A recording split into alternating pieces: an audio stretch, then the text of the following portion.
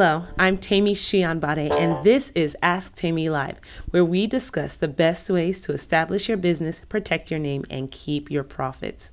Welcome to those of you who are joining. This is a very special edition of Ask Temi Live because this video has exclusive content for the Tuesdays Together Houston community. I had the privilege and honor of spending some time with them earlier this week, and it was just great. But I wanted to make sure that we delved a little bit deeper into one of the questions that came up. One of the things we discussed was trademarking your own personal name with regards to your business. Is it something that you should do? Should you name your business after yourself? Now, I have some content available online about this topic, but I wanted to go into a little bit more detail and kind of give a few more considerations that one should take to mind when trying to make this decision. So, when you are trying to decide whether you should name your business after yourself, you should think about three things. First, trademark law, second, marketing, and third, your exit strategy and or potential investors.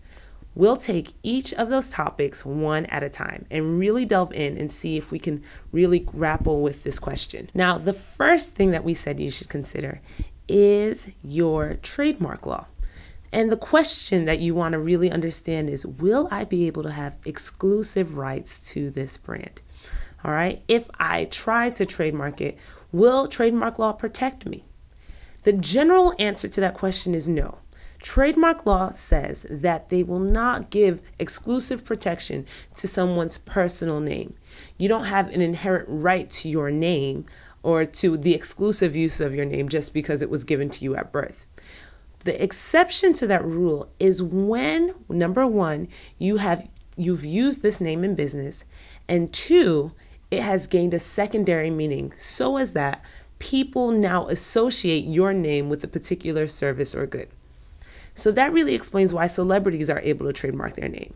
For example, Beyonce has trademarked her name because whenever we hear Beyonce, we associate it with her goods and her services and the work that she provides in her business pursuits as an entertainer.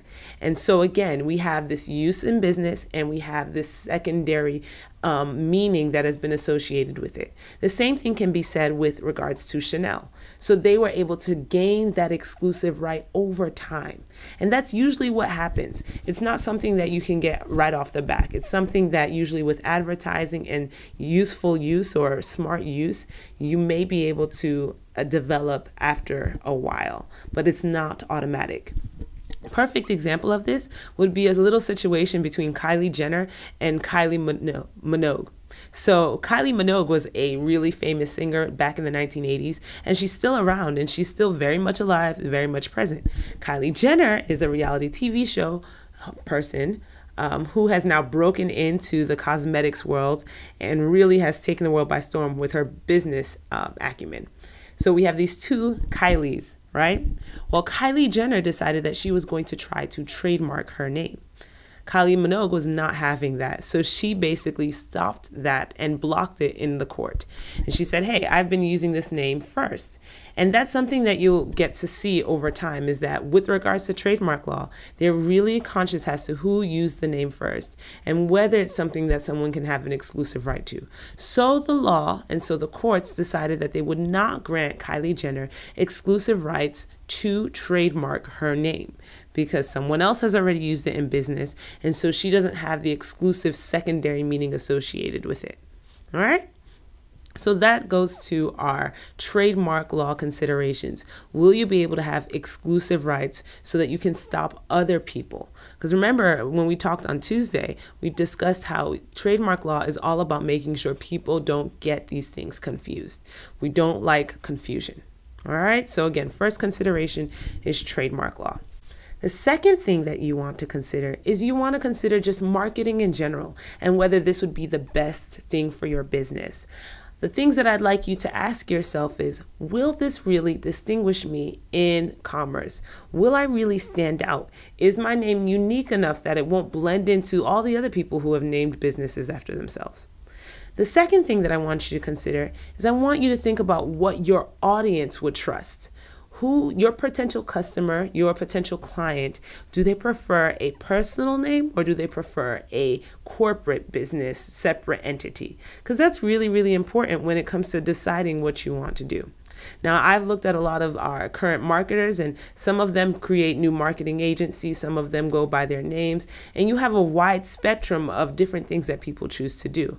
But I do want to share with you that there are many people who start off on this journey choosing to try and do their name because that's the most natural thing, and then end up regretting it for reasons that we'll discuss later. And so they realize that for marketing purposes, it's okay, but it, there's a cap. They might not be able to market to the same level of consumer that they want to once they've grown because they're going about it based off of their own personal brand. Now, I also want you to realize that it is possible to be the face for your company without having your company named after you.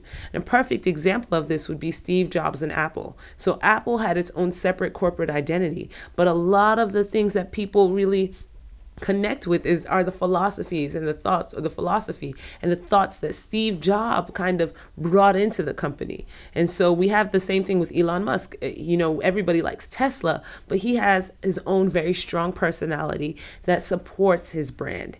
And so you want to have those considerations when you're deciding whether you should name your business after yourself. The last thing that I want you to consider is I want you to think about your exit strategy and or potential investors. What do I mean? Well, when you're starting a business, it's really important to figure out whether you want this business to. It's just well, it's important to start thinking about whether you want to sell this business in the end. Like, what's your end goal? A lot of times people don't think about this, and it does become relevant, especially if your company grows and becomes extremely successful. It's not uncommon for someone to decide to sell their business to someone else or to get outside investors in order to promote growth. Now, what happens when that occurs is that now your separate corporate entity has an asset, and that asset is your name. When you decide to sell your business, most investors are going to want your name to go with it.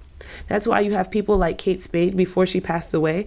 She had sold the rights to her business and her name. So Kate Spade was in it was in existence without Kate Spade actually working behind it. And when Kate Spade wanted to start a new fashion line, she couldn't name it after herself because the rights to her name had already been been sold. And she's not the first person to deal with this. This has also occurred with Joseph Abboud he was a designer as well. And so what happened was he decided to sell his company and sell the rights to his name. Years down the line, he decides he wants to start another fashion line called JAZ or Jazz, right? And he says that the name will be Jazz, but it will say in a tagline, you know, produced by Joseph Abboud. So he decides that that's what he wants to do. Well, guess what? His company that he sold sues him for the rights to his name and says, no, you can't do that because people will think that these are the same brands. Now, he lost, he, at first he lost and eventually was able to appeal and get limited rights, but it was something that took a lot of time and a lot of effort. And again, many people kind of go through this and end up not having the ability to really fight these battles. And so I say all of this to say you really want to think deeply about whether you want to name a business after yourself. It's something that many successful people are able to do, so I'm not saying you shouldn't, but I'm saying you should think about it. Now, I hope all of this information has been really helpful to you, but that's not where I want to end it. I really, really enjoyed my time with the Tuesdays Together Houston community. And so, in order to show my appreciation, I wanted to give you a little gift. For the next three days, if you schedule a business consultation of some form with me, you can use the code Tuesdays Together to save 50% on that consultation. Now, that's only for a limited time, only for the next three days, and only for the Tuesdays Together community. Put in the code Tuesdays Together, all caps, when you're checking out and you'll be able to save and actually move forward with your business. Because I'd love to sit down with you. And as you heard me say earlier, I help people establish their businesses, protect their names, and keep their profits. And I'd love to do the same with you. Additionally, if you want to follow me and hear and keep, you know, keep up with what I'm doing and hear all of this news and information and content, feel free to follow me. There's so many different platforms where you can find me. You can find me on Instagram. You can find me on Facebook. I recently released this Ask Temi podcast on iTunes and Stitcher Radio and Castbox, and it's on SoundCloud. So there's so many different ways where you can stay plugged in. Plus, you can subscribe to receiving news and updates by visiting my website, www.toslegal.com. So again, you can ask follow me on any of those social media platforms or you can visit my website and you can schedule a consultation and save 50% off. I hope again that this has been extremely helpful to you. Please feel free to leave questions at the bottom, comments, let me know if this is helpful. And you know, and also feel free to let me know different types of topics you would love to hear covered on Ask Temi Live because this is something that I do at least twice a month where I'm answering questions, giving you stories, giving you feedback, helping you understand the best ways to establish your business, protect your name and keep your profits. I hope that you enjoyed this and I hope you have an amazing weekend. We'll talk soon. Bye.